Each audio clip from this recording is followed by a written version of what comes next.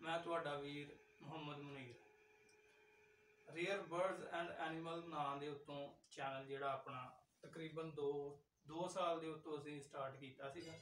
ਲੇਕਿਨ proper videos ਅਸੀਂ ਇਸ ਚੈਨਲ ਤੇ ਅਪਲੋਡ ਨਹੀਂ ਕਰ ਸਕੇ। ਤੇ ਹੁਣ ਇਨਸ਼ਾਅੱਲਾ ਤਾਲਾ ਮੇਰੀ ਕੋਸ਼ਿਸ਼ ਆ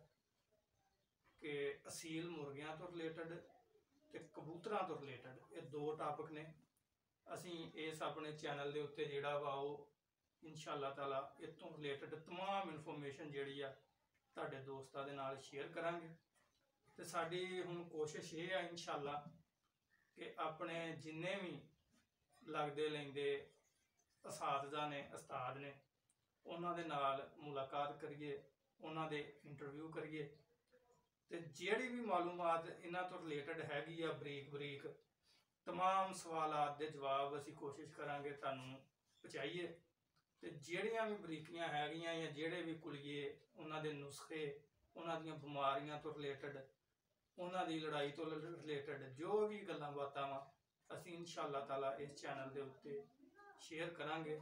ਤੇ तमाम ਪੰਜਾਬ ਦੇ ਉਸਤਾਦਾਂ ਦੇ ਨਾਲ ਕੋਸ਼ਿਸ਼ ਕਰਾਂਗੇ ਖਾਸ ਕਰ ਪਹਿਲੋਂ ਅਸੀਂ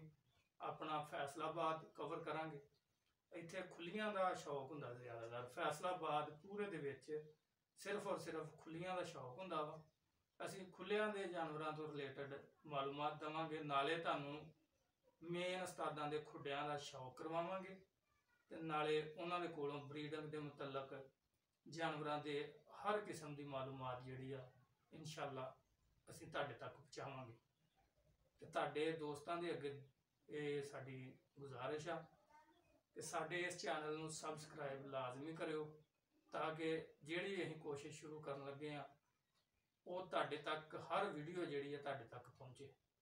ਤੇ ਇਨਸ਼ਾ ਇਨਸ਼ਾਅੱਲਾ ਤਾਲਾ ਅਸੀਂ ਪ੍ਰੋਪਰ ਵੀਡੀਓਜ਼ ਅਪਲੋਡ ਕਰਨਾ ਸ਼ੁਰੂ ਕਰ ਦਿਆਂਗੇ।